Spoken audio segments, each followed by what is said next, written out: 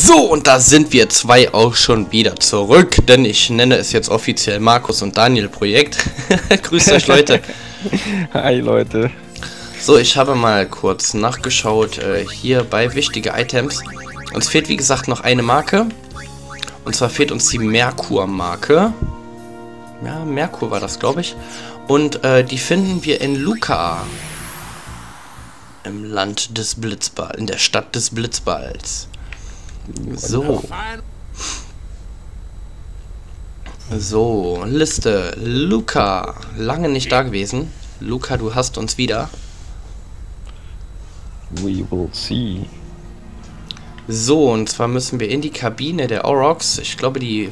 Ich glaube, ich meine, ich kenne mich hier überhaupt nicht mehr aus. Es kann auch sein, dass ich mir jetzt gnadenlos verlaufe.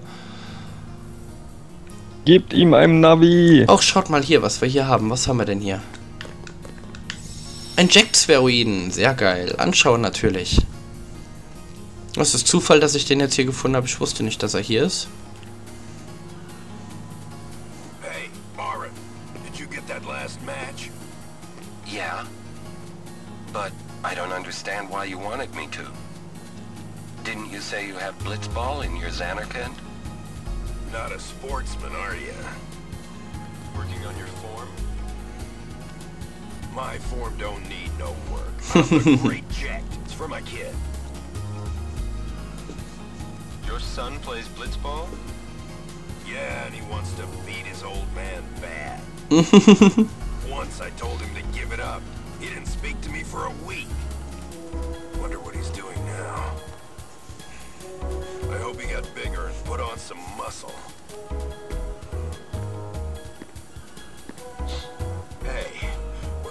Idea? Stop shooting. Ja, auf jeden Fall sehen wir dort, dass äh, Jack doch nicht so der Ultra-Harte ist, wie er immer tut. Ne, er macht sich schon Gedanken um uns.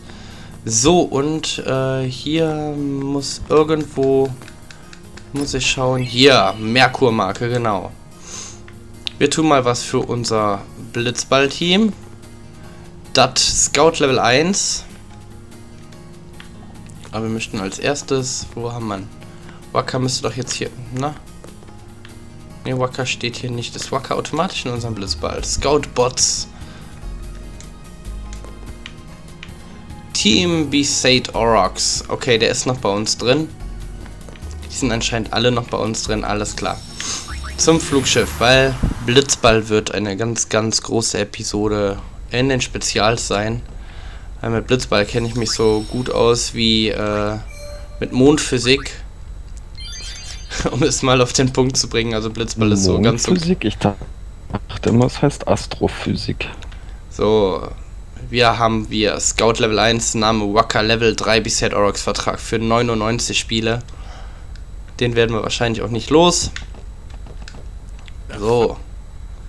Nein, wir wollen nicht den ultimativen Kampf gegen Sin schon betreten, sondern wir wollen in den Makalania-Wald. Denn dort möchte ich, ähm, ja, eine Schmetterlingsjagd absolvieren. Nicht Macalania-Nüsse sammeln?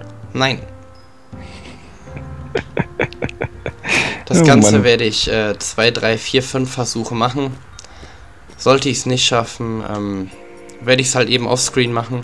Oder, ähm, ähm, wie machen wir das Ganze? Ich werde sie versuchen mit Save States zu spielen. Dann seht ihr es und äh, hm. lecker Mocker. Ähm, ich werde es mit Safe State spielen. Ihr seht, wo diese Schmetterlinge sind und ich schone meine Nerven. Ich finde, das ist eine relativ gute Idee. So. Ziel ist es, am besten erstmal richtige Ausrüstung anzulegen. So, lalalala. Und tschüss bitte. Habe ich dem Team jetzt die richtige Ausrüstung gegeben? Nicht, dass ich noch Käfig-Items anhabe. Ultima Schwert, 1000 Füßler, Gegentreffer, alles klar. Gut, aber Ausrüstung, Lulu, Wappen, und zwar das Hasenwappen. Ey, ich sagte das Hasenwappen, so. So, da hätten wir schon den ersten Schmetterling. Und, wenn mich nicht alles täuscht, müssen wir hier noch zurückrennen. Hier ist nämlich noch einer. Wir müssen jetzt die blauen Schmetterlinge. Und da habe ich auch schon den ersten roten getroffen. Das darf nicht passieren. Man darf lediglich die blauen hier hinten treffen. Und da muss man... Warum ist da ein unsichtbarer Schmetterling? Das gibt's doch nicht. So, genau. Dann müssen wir uns hier den holen. Da ist wieder ein roter, dann geht's hier hoch. Hier ist noch einer. Und da sind wir in einen reingerannt. Das ist natürlich Käse, so.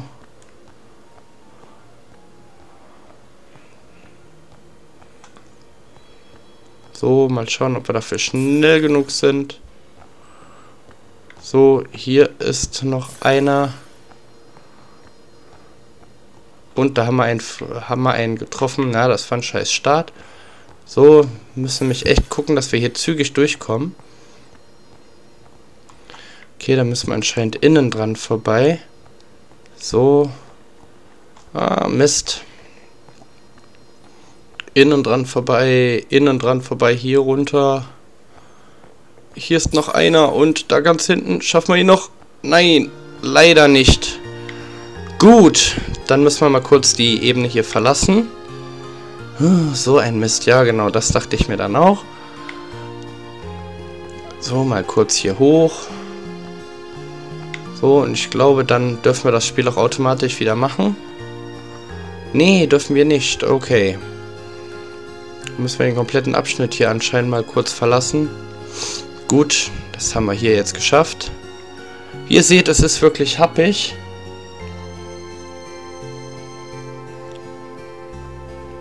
Ich weiß gar nicht, was passiert, wenn wir den... Ah, wir müssen anscheinend den hier berühren. So. Und ab nach oben. Hier oben ist der erste. So. Und dann gucken, dass wir wirklich flott diesmal durchkommen. Ohne irgendwo anzustoßen. Ich sagte, ohne irgendwo anzustoßen.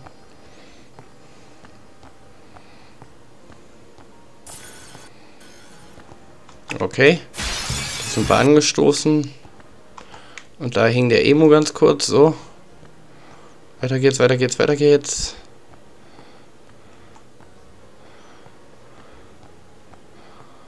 So. Ah, laufen wir an dem vorbei. So ein Scheiß. So. Haben wir den. Den haben wir auch. Okay, das war der, wo wir in... Wo bin ich denn hier? So. So, hier kommt der, wo wir innen vorbei müssen. Hier außen. Hier. Und diesmal sieht es aus, als wenn wir es schaffen könnten. Jawohl. Damit wäre diese Ebene geschafft. Jetzt weiß ich nur nicht, wo die Truhe ist. Ich meine, die ist im nächsten Abschnitt dann. Hier wäre es auf jeden Fall geschafft. Wir müssen sie in zwei Abschnitten schaffen. Ich weiß nicht, ich gehe mal eben... Also hier haben wir sie ja jetzt definitiv geschafft. Ich laufe mal eben zurück. Ob die Kiste dann irgendwo am Anfang davon liegt. Ach, hier ist sie dann, ne? Ist sie das, oder? Geh mal auf. Teleport Spheroid. Was haben wir hier? Ein Allheilmittel. Ah, weiter zurück. Man muss auf jeden Fall eine Truhe öffnen, meine ich. Und selbst wenn nicht, haben wir halt Pech. So, hier ist definitiv keine Truhe, also zurück. Dann müssen wir in der zweiten Ebene halt noch eben diese Schmetterlingsjagd machen. Dann erhalten wir ein Siegel für die nächste Entkopplung bzw. Entsiegelung einer Solaris-Waffe. Das ist, ich würde sagen, die, das schnellst zu schaffende. Es ist jetzt nicht so ultra affig schwer. Erfordert halt lediglich so ein kleines bisschen Geschick.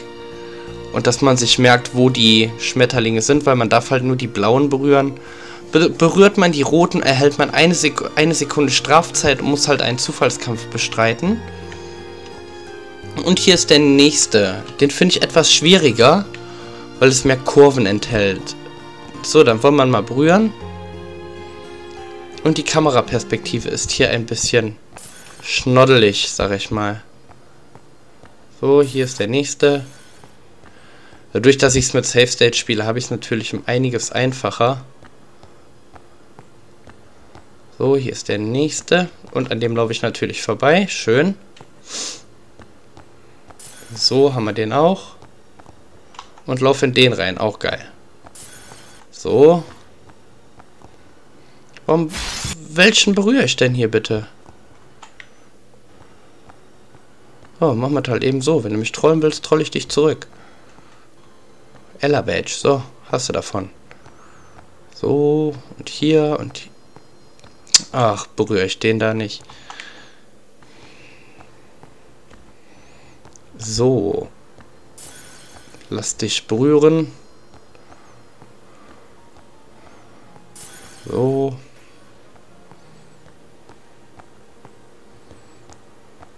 Uah, da war ein ultra fieser Lack gerade drin. Weiß nicht, ob man das gesehen hat. Das war auf jeden Fall kein Safe State Lack. Casus Knacktus ist diese Ecke hier. Boah, ist das fies. Hilfe. Hm.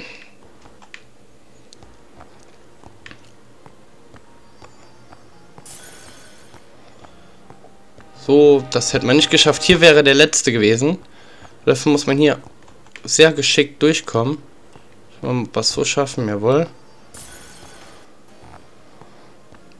Oh, was für ein Scheiß, habt ihr gesehen? Okay, das war auf jeden Fall meines Wissens nach der letzte dort.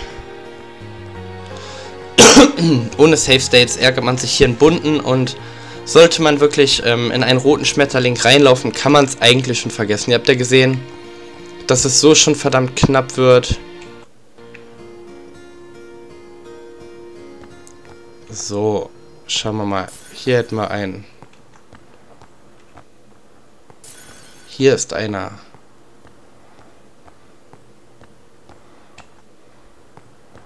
Den nächsten haben wir hier. Aber wenn ihr seht, dass es kurz leckt, habe ich ein Safe State gemacht. Oh, hier hoch. Das war hier wieder einer. So. Hier. Schauen wir mal, ob wir jetzt besser dran sind. Ja. Aber das sieht trotz der Zeit noch viel schlechter aus als eben. Oder meine ich das bloß? Nein, das sieht schlechter aus.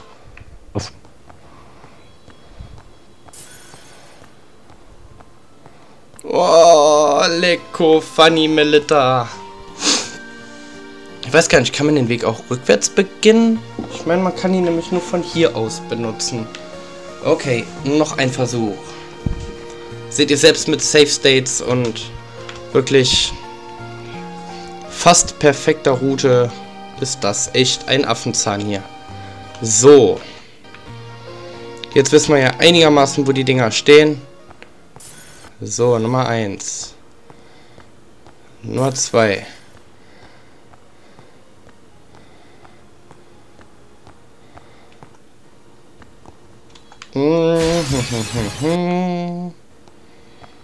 So. Ach, was mache ich denn da? Ja, das kann ich gleich vergessen. So. Da renne ich da wieder dran vorbei. So. Da, da bin ich vor die Wand gerannt. Das ist scheiße. Es kostet Zeit.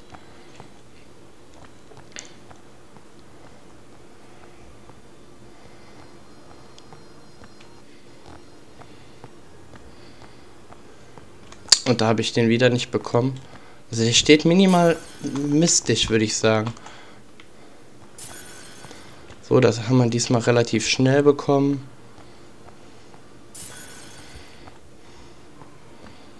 Und wieder sieht das verdammt eng aus hier. Hm. Na komm schon. Ja, diese Ecke hier ist die Hölle. So, aber diesmal... Oh, was soll der Scheiß denn? Komm nur ein klitzekleines bisschen besser hier um die Ecke.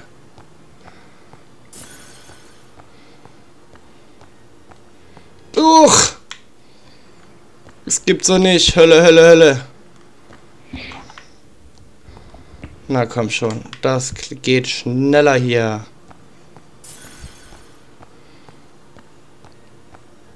Oh. Wahnsinn. Da fehlt mir da 0,1, 0,2 Sekündchen. Ja! Da haben wir es geschafft. Puh, würde ich behaupten. Puh, puh, puh. So, und hier vorne haben wir eine Kiste. Jupiter-Siegel. Hier haben wir es erhalten. So, damit wäre das erste Siegel der äh, Sidequest, sage ich mal, erledigt. Das nächste Siegel. Hm. Ja, das würde etwas länger dauern. Also entweder machen wir jetzt die... Ne, die 200 Blitze machen wir definitiv nicht, aber wir können eine, eine etwas lustige Sidequest machen. Und zwar wäre das die Kaktoren-Quest in der Sanubia-Wüste. Oh, hauaha. Ja, da erinnert sich jemand daran, glaube ich. Oh, hauaha, hauaha. Das ist eine sehr lustige Sidequest, weil, ähm, ja, diese Kaktoren wollen mit uns Verstecken spielen. Und ich weiß, dass ich ja einen Umweg gehe, aber zu, allein zur Unterhaltung ist das ja auch mal schön. Ähm, diese Kaktoren ähm, sind sogenannte Wächter, die sich in der äh, Sanubia-Wüste verstecken und wir müssen sie finden und danach sowas wie Schwarz-Weiß-Rot spielen, also äh, oder wer hat Angst vom schwarzen Mann? Ich weiß nicht, wie ihr das äh, in eurer Kindheit oder wie, wie ihr das generell genannt habt. So dieses, dieses, er, er zeigt uns den Rücken und dreht sich dann rum und da müssen alle Leute stehen bleiben. So, ich kenne das unter, unter dem schwarzen Mann, glaube ich. Oder der tote Mann, ich weiß nicht mehr genau, wie es bei uns hieß. So, bereit für den finalen Kampf. Liste und wir wollen nach Sanubia. Na? Nee, ach Quatsch, Sanubia. Bikanel meine ich natürlich. Bikanel ist doch richtig, oder? Ja, genau. So, hier machen wir ein Save. Dann würde ich sagen, Ausrüstung checken. Ja, Hasenwappen ist drin. So, dann die altbekannte Wüste. Wie wir sie lieben. Merkt ihr auch dieses Kratzen im Hals? Oder liegt das daran, dass ich wieder zu viel geraucht habe? Ich würde eher sagen, das liegt daran, dass du viel zu viel geraucht hast. Hm. Alles Interpretationssache. Meinst du? Weiß ich sogar. So.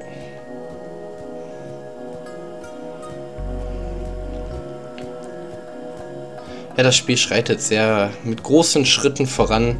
Aufgrund oder ich sage mal dank der Save States, die ich benutzen kann, sind äh, diese Sidequests einigermaßen schnell zu erledigen. Ne, nicht, dass ihr hunderttausendmal sehen müsstet, wie ich äh, jetzt... Ich meine, ihr seht schon, dass ich fehle, aber ich muss da nicht jedes Mal von vorne anfangen. Das wäre halt kontraproduktiv, äh, wenn wir uns einer Sache halt 50.000 Mal angucken müssen. Das geht erstens in die Parts und zweitens wird es halt mit der Zeit auch langweilig. Deswegen sage ich mir ganz einfach so, dann spiele ich es lieber mit Save States und ihr seht, was dadurch entsteht, anstatt ähm, wir uns da halt 50.000 Parts mit beschäftigen. Ich meine, hier dieses, äh, ähm, das Spiel, das wir jetzt gleich mit denen spielen, es ist relativ geil gemacht. Und ähm, das werde ich auch ohne Save States, denke ich mal, spielen. Weil es gibt da ähm, höchstens, ich glaube, einen Freundsveruin zu gewinnen. Und ähm, da tue ich mir dann doch lieber mein Da tue ich mir dann noch lieber den Spaß an und, ähm, ja, wo müssen wir lang? Ich glaube hier lang. Tue mir den Spaß an und gucke, ob ich es auch so schaffen würde. Hier seht ihr, die Wüste ist riesig, affig groß. So. So. Jetzt müssen wir, glaube ich, hier rüber. Ist das das Stück? Ja, genau. Oder? Ja, genau. Hier vorne haben wir ja schon den Stein. Ja, da standen wir ja schon mal vor. Das hatte ich euch in dem wiederaufgenommenen Part der Wüste gezeigt. Was es hier mit diesem Steinchen auf sich hat. So, und was es damit auf sich hat und äh, was diese Spiele genau sind und wo sich die Charaktere verstecken, sehen wir natürlich im nächsten Part von Let's Play Final Fantasy X. Ich bin der Ice88, der Markus sagt bestimmt auch noch Tschüss. Ja, hallo, ich bin Mr. Darkness Project und sage Tschö.